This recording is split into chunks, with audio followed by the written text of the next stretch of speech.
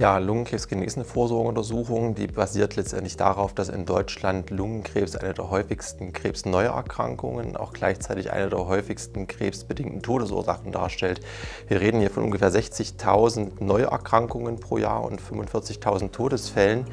Und die Überlebenschancen sinken einfach dramatisch, je später ich diese Erkrankung feststelle oder je fortgeschrittener dieses Erkrankungs- und Tumorstadium letztendlich ist.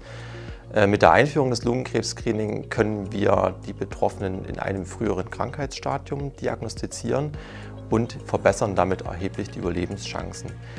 Eine Kostenübernahme besteht aktuell noch nicht. Die soll ab Frühjahr 2026 letztendlich vorliegen. Ähm, bereits jetzt kann es aber angeboten werden, ist aber derzeit noch eine Selbstzahlerleistung. Frühe Lungentumoren können mit einer Niedrigdosis Computertomographie bildlich dargestellt werden. Die Strahlenbelastung ist hier gegenüber dem herkömmlichen CT deutlich geringer, wenn auch trotzdem vorhanden.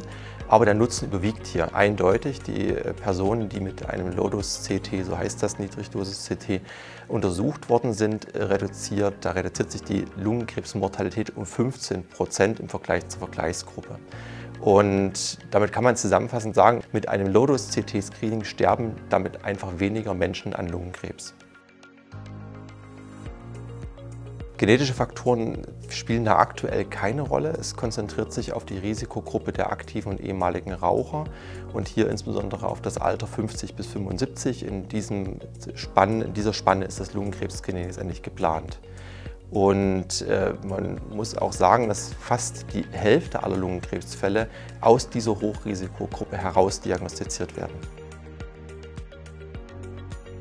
Das Lungenkrebs-Screening an sich wird voraussichtlich an zertifizierte Lungenkrebszentren der Deutschen, Gesellschaft für, der Deutschen Krebsgesellschaft gebunden sein.